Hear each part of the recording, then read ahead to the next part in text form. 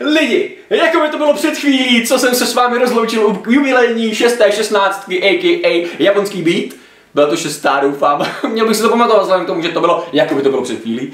A vítám vás u sedmé šestnáctky, tentokrát na téma, jaký jsem husták a hustý a největší a nejúžasnější a nejkrásnější. Jak mám zkrásně pod kontrolou své ego, jak všechno to, co říkám, vlastně myslím vážně, jak se z ničeho nedělám srandu a hlavně o tom, jak jsem nejvíc pokorný člověk, kterého jste kdy mohli vidět.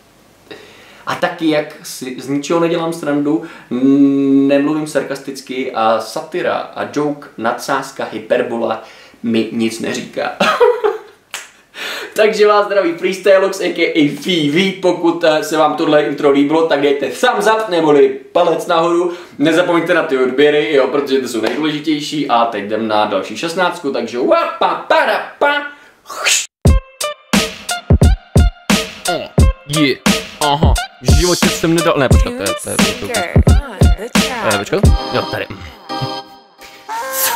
Mám skill, mám styl, mám feel, jsem real, mám love, mám ženy, mám text, mám svoje, mám chains, tak mi podej další levný pojem, další slovní objem, další povrchní dojem. Počkej, chci dávat věci, které mají význam, které mají smysl, které mají hloub, které tě posunou, které tě vezmou kousek po kousku. Nechci dávat věci o tom, jak já jsem dobrý. Pokud jsem dobrý, tak to za mě musí říct můj život. Pokud jsem dobrý, tak to za mě musí říct moje skutky. Pokud jsem dobrý, tak to uvidíš a bude ti to stačit. Chci dávat repy, který posunou tě, který vyjádří jak já žiju, který ukážou ti, že v tom nejsi sám.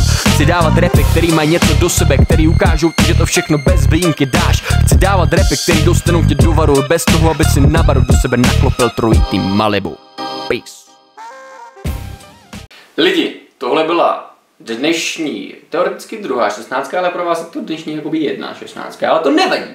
Co jsem chtěl říct je, že děkuji za pozornost, doufám, že se vám to líbilo, doufám, že vlastně už za sebou v době, kdy se na tohle díváte, tak, v době, kdy se na to díváte, tak už za sebou máme týden z tohohle z toho challenge a doufám, že vás to stále baví, protože mě to baví. A když to baví interpreta, tak to samozřejmě musí bavit i fanoušky. a nebo je to naopak, když to baví fanoušky, tak to baví interpreta. Možná by tam byla dobrá nějaká vzájemná korelace, asi obou hemisfér. Co jsem chtěl říct je, že pokud se vám video líbilo, tak nahoďte palce, nahoďte odběry, ať máme tu stovku. A Michale, neboj se, jdu tvořit texty na tvé téma, to znamená, že video číslo 8 a 9 s největší pravděpodobností už bude na tvoje téma. Takže čau. Jo, Aloide, neboj se, na tebe jsem nezapomněl, co se týče těch Bad Girls, tak uh, to mám taky připravený, ale, ale někde ještě trošku do budoucna. Musím tam napasovat, víte, co jsem takový úplně hypovaný, že jako uh, uh, téma tam co tamhle, takže. uh, takže tak. Tak si mějte krásně, mějte se fanfárově, sbírejte básně, skládejte básně, dělejte básně, nebásněte, hrajte na ukulele, vyvíjejte svoji kognitivní boskovou kůru. Teda, no prostě se mějte fajn, mám vás rád lidi a zase se vidíme zítra, takže těpéro. Esse é erro.